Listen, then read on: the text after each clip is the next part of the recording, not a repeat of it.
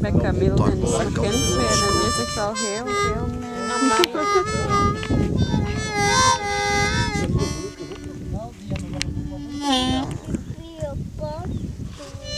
Pipi op potje.